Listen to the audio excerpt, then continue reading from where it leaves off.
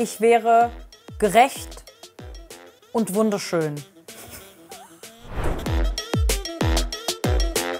Hä? Ah, mein Schloss?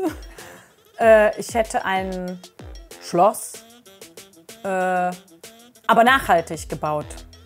Aus Pappe. ja. Und alle könnten vorbeikommen. Es gäbe immer so Partys in dem Schloss.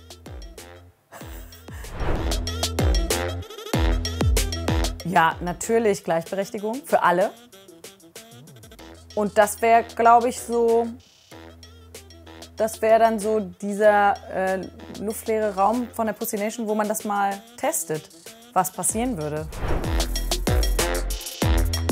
Also, ich, ich fände ja geil, wenn es so ein Ministerium gäbe, was sich darum kümmert, dass so Fakten eingehalten werden. Wenn Leute Dinge veröffentlichen und das ist Schwachsinn, was da geschrieben dann, dann muss das eingeordnet werden. Also es muss immer klar sein, dass das Quatsch ist, weil ich finde, dass, so, dass wir so in einer Zeit leben, wo so Diskussionen manchmal nicht mehr möglich sind, wenn Leuten einfach, wenn Leute sagen, nee, diesen Fakt, den glauben wir nicht. Wir glauben nicht, dass, weiß ich nicht, die Erde rund ist oder so. Dann ist es so, ist es schwierig. So ein Ministerium wäre gut.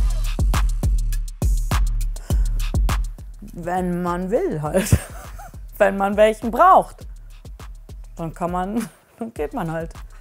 Das gibt doch so Firmen, die sagen, ja, ja, ihr könnt so arbeiten, wie viel ihr wollt. Und dadurch arbeiten die Leute dann erst richtig viel, weil die Angst haben, dass die die Einzigen sind, die den Urlaub nehmen. Ja, ich würde sagen, nehmt euch so viel Urlaub, wie ihr wollt. Natürlich im Süden. Wobei Klimawandel, Leute, ist wahrscheinlich egal. Am Meer. Schloss am Meer. Ist immer schön kühl im Schloss. Hm.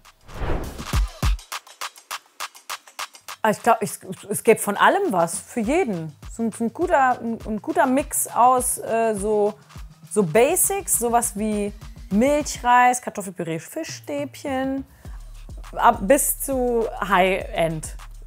Schaum von Fischstäbchen und so. Fußball. Frauenfußball natürlich. Vielleicht so eine Mischung aus äh, äh, Viva Colonia und irgendwas Klassischem. So. So was, was das Ganze so ein bisschen staatsmännisch macht. Also eine Mischung aus Viva Colonia und, und äh, äh New York, New York oder sowas.